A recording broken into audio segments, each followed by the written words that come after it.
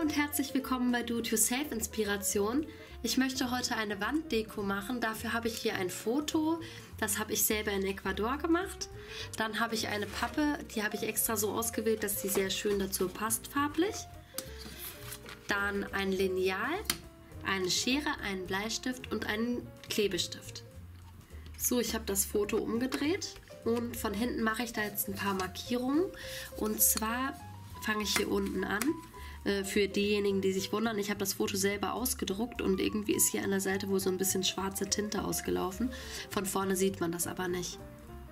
Also ich lege hier mein Lineal dran an die lange Seite, weil das ist ja auch ein Hochkantfoto. Und mache bei einem Zentimeter eine Markierung, bei drei Zentimetern und bei sechs Zentimetern. Dann hier auf der anderen Seite auch.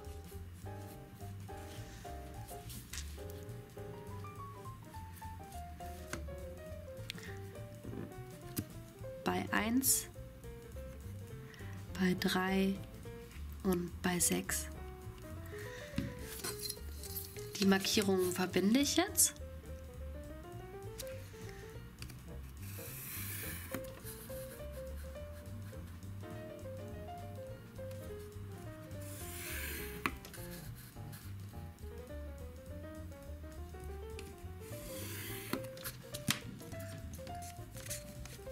Und da schneide ich jetzt entlang.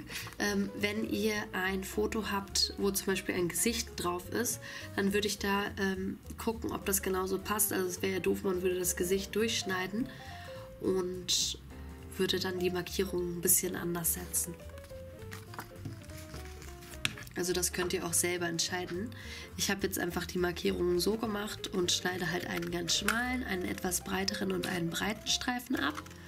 Man kann es natürlich aber auch ganz anders machen, so wie ihr möchtet.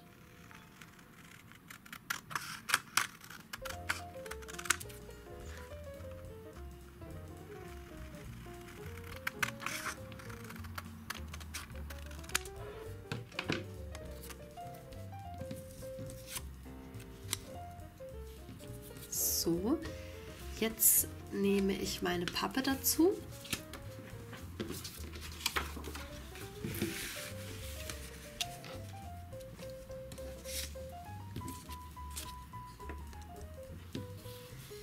Jetzt klebe ich die einzelnen Teile des Fotos hier wieder auf.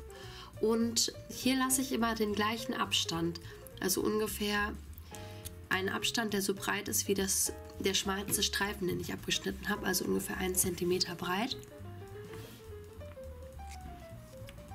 So, und das Praktische ist, dass ich das hier mh, mm, auf diesem, äh, dieser Pappe mit den Linien aufklebe, deswegen kann ich das hier alles genau an einer Linie ausrichten.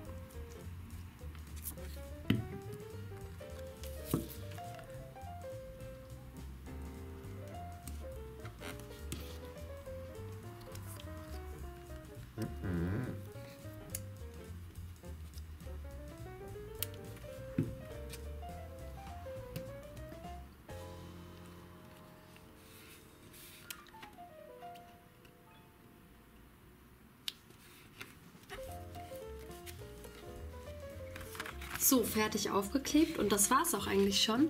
Ich finde, das sieht halt jetzt sehr interessant aus. Ähm, es ist nicht einfach nur ein normales Foto, sondern so ein kleiner Hingucker, man weiß nicht genau, ähm, was das soll, warum das auseinandergeschnitten ist. Ähm, und das gibt auch irgendwie so einen ganz anderen Effekt. Und auch das sind ja Streifen und das sind jetzt ja auch Streifen. Ja, und ich finde auf jeden Fall, dass das sehr interessant aussieht. Man kann aber natürlich auch ganz viele andere Sachen machen. Ich hätte jetzt zum Beispiel kleine Ecken abschneiden können und die Ecken etwas weiter unten ankleben können. Oder ähm, sonst, wer möchte, kann natürlich auch einfach so Fotos auf Pappen kleben.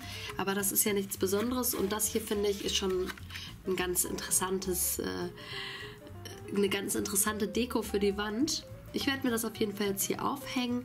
Wenn es euch gefällt, könnt ihr es ja vielleicht mit euren Fotos nachmachen. Ihr könnt mir ja auch mal in die Kommentare schreiben, wie ihr das findet, ob ihr das gut findet oder ob ihr es schöner findet, wenn man einfach so Fotos aufklebt. Oder ob ihr noch Ideen habt, wie man die auseinanderschneiden kann, damit es auch noch sehr interessant aussieht. Also so gefällt es mir schon wirklich richtig gut, aber es gibt natürlich sicher noch ganz viele andere Möglichkeiten. Schreibt mir das alles. Ich freue mich über einen Daumen nach oben und schaut auch unsere anderen Videos, abonniert unseren Kanal, falls ihr ihn noch nicht abonniert habt und wir sehen uns beim nächsten Mal wieder. Tschüss!